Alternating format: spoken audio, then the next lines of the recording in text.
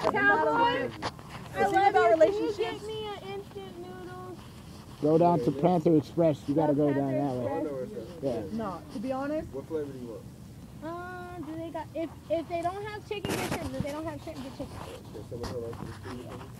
no, to be They don't have both. the one thing I You always get learned that. about relationships, no matter what one? happens in a Get relationship, spicy chicken. your friends are still there, you know?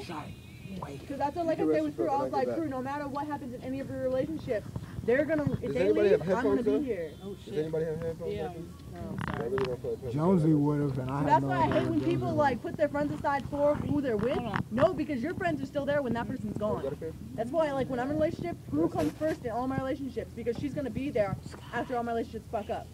That's the only, re- and everyone. That's what Thomas hated that I put Prue first. I was like, well, if we ever break up, I'm still gonna have Prue, so I'm gonna put her first because I know I'm gonna have her. Because I know 100% sure I'm gonna have her. Maybe 50% I'm gonna still be with this person. So it's like I'm still gonna keep my 100%. See, that's and that's the kind of thing I kind of disagree with because Go ahead, that person in your life may be there, but when you you got with that person for a reason. So you're gonna you need to show them as much respect and and as much attention as the person that you know who's gonna be there for the rest of your You life as a how- No, no, friend. no, I mean like no, I mean like this. I mean like if I have a problem, sometimes I won't tell the person I'm with. I'll tell Prue. Because like honestly, like I used to do that with Thomas. Like if I had a problem, I wouldn't tell Thomas. I'd be telling Prue. That's why he like when I was upset, I don't want to talk to that person because if I blow up at that person, I don't want them to see me blow up at them. But if I blow up at Prue, she's used to me blowing up at her. El Negro, you better back up off my eye. Hey, you got your You know what I nuts. mean, Ari? Let me get a little Hold on a second. Here, you can have that. 'cause I You want- got I your nuts. Oh, You know what I I mean? want some. Okay. Well, cause like if you think about it, it's like at what flavor the whole point of a relationship is to show each other's emotions. Well, I know that, but I'm But just it's saying, like- They don't have both. But it's like if you have to constantly go to the person that's outside of your relationship, that's an outside influence. That person right there is the person that is gonna be there, but sometimes their advice always isn't the best advice. In order for you to have your relationship grow and for you guys to prosper together, it's for you to, not that outside person. Yes, it's your friend, and yes, you care about them, and yes, they may have good points and stuff, but that's for you and your partner to decide, hey, yes, I have blown up at you, but I need you to see how I really feel. well, I know that. But That that right I there. understand, I understand But what what you're I- I understand But where I you're mean, like, coming like, like, like too. when me and Thomas were together and he'd do something to piss me off. And I sometimes, and sometimes, Sometimes to I need to it, I need to cool to down, cool or I'm gonna say some stupid shit to him that I shouldn't say. But with Prue, I'm mad at someone and I can blow up to her, and she knows. Like if I if I get mad at her and I blow up on her, she knows I don't mean it. But a lot of times I blow up on Thomas and he take it to heart. So I would take, I'd go to her because I knew she knows I wouldn't take it to heart. So I'd sit there, let all my emotion out with her instead of have him bitch at me saying, "Why are you being mean? Why are you being mean?" And then when I'm calm, she goes, "Okay, just talk to him, tell him this." Then I go and talk to him calmly, and we'd work it out. But that's why I go and to her. sometimes, and sometimes you do need to take a step back and be like, you know what? I'm gonna say something that's gonna really hurt you, Exactly. and I need to take that time out and be like, you know what? I agree. Huh? Nothing. What? She doesn't all need I to know, know. All I know is that when it comes to relationships, this is how this is how I think of relationships. I think of relationships as a two-way street, and then you have this one street, and then you have another street. You need to choose which street you're gonna go down. You're gonna go down the hey, I'm a fuck you over road, or hey, I want you and I to prosper. We're gonna be together road. If you can't, if you're so damn confused on which one you want to go, then, Then you you have to you your ass need to stay right there in the middle of the center divider and stay there until you can decide what you need to do. Until that red light turn green on the left or right side, nigga, you ain't gonna go nowhere. Your ass Okay. is just gonna stay mm. right there on pause Let me explain. That. until you press play. Let me explain another example. Okay, Prue was with this guy. Look at this. Thomas. She gonna cough up her noodles. They game. gonna come out of her nose, and it's gonna come out on camera. Examples in that damn All right, okay. Here, here's a better example. Okay, Prue was with this guy named Thomas. Not Thomas, different Thomas. Yeah, baby. But see, this guy didn't like me Yeah. too much because how close me and Prue were. And so what he would do is he said, I don't want you to hang out with her. Like I bought her this beautiful gold necklace that had a heart saying love with a ruby in the middle. He told her, get rid of it. I don't see you wear that because it was from me. But the thing was, she put me first before him because of shit that he did. And you know what? Thomas did some stupid shit. He didn't like Prue that much. And so I was just like, you know, if you talk trash about Prue, I don't, you're gonna have to fucking leave. Because if you're not friends with, if you're not cool with Prue, then you can't be with me. That's my first thing. Because Prue's always been there in my life, and she's always gonna be there in my life. It's like a family aspect. Yeah, it is. It, It's it like is if you're gonna a be like if you're gonna fuck my family over and talk shit about my family, I can't be with you. It's the same thing with her because she's part of my family. So if someone's talking shit about my sister, I'd be like, sorry, I can't be with you. You're talking shit about my sister. No. I'm sorry, Someone but says my shit about my head mama, hurts. unless I say shit first. But like I can say shit like my mom's a bitch, but if someone else says my mom's a bitch, that's when I get mad. Oh yeah, I I said think that a couple I, of times. I think that's common. I mean, I think that's really common in all. But that's what I mean by putting her first. Is I put my family first before a relationship because my family's ah. always gonna be there for me. Like if I think about it, it's like the only person that I really consider my family, actually blood family, is my mom. So it's like I'm gonna put my mom first for any type of relationship. And if That's there's any saying. way, if there's any way I can actually have both, then most definitely I'm definitely gonna have both. I'm gonna have my cake and eat too, damn it. But Can I get some cake? no.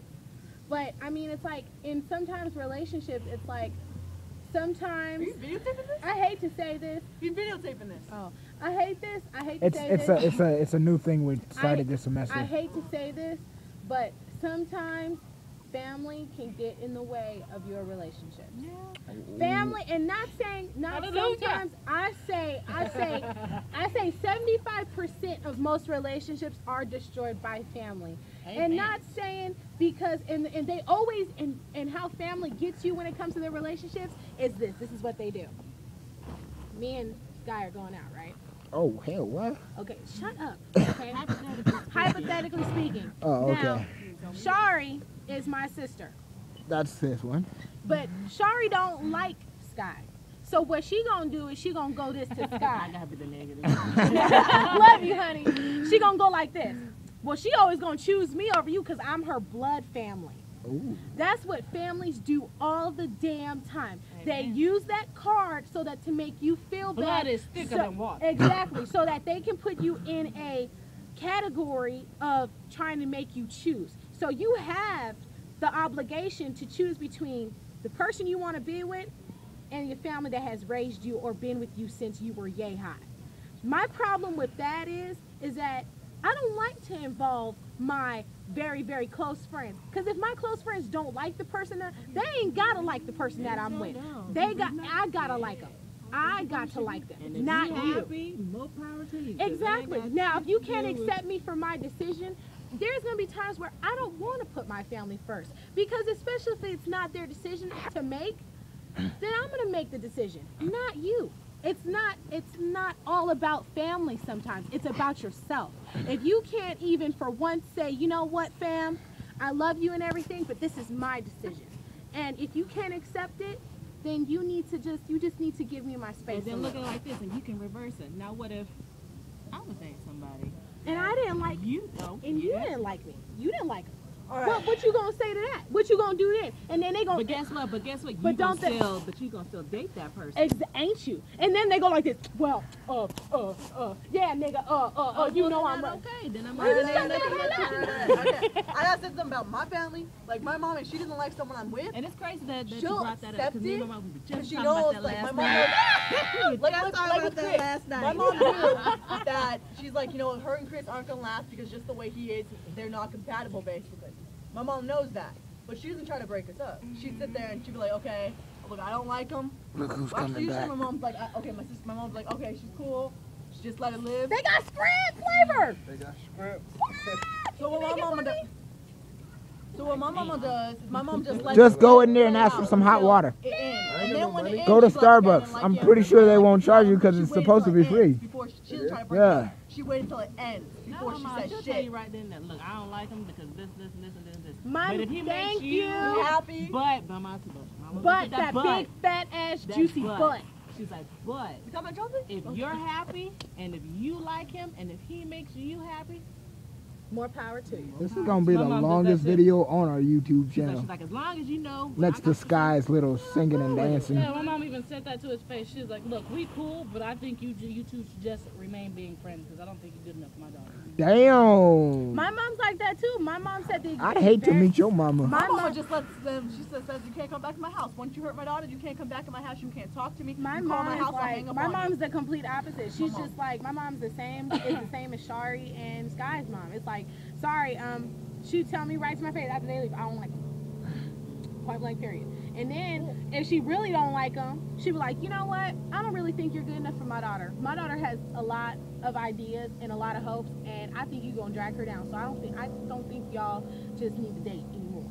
And I'm looking like, God damn, bitch is harsh. Like, damn, time my mom did that was one time Chris left and she goes, he stinks. He My mama will tell you to house. your My my mama mom, my so. mom, will tell you to your face, nigga, you stink. You need to go take a bath. Shit. You should pull out. It should pull out Dip yourself, breeze. no, dip yourself in bleach. You or wait, has, has your mama ever, has your mom ever, ever did this? Has she ever had someone at her house that stank, and then once they left, she got the Febreze on? Yeah, that's what Hey, my mom did that. My mom did that. This is what my mom did. She was like, next time he comes over, this is before I broke up with him. Next time he come over, I'm gonna have him wash the car and accidentally spray him. And just Oh pour my the soap water on him. Oops, I'm sorry. My mom Yeah. was like, she said next time we gonna get some, we gonna get some plastic covers and cover up the damn sofa and shit. Act like Grandma Thelma's house. Be like, Grandma, no. and get and get one of those uh those um fucking air fresheners whenever there's movement. She, my mom says I'm gonna walk right by it every time. Oh hi how are you walk. Shh. Hi how are you walk. Shh. Have a space in him. Shh. One time he came over and he wanted to hang out.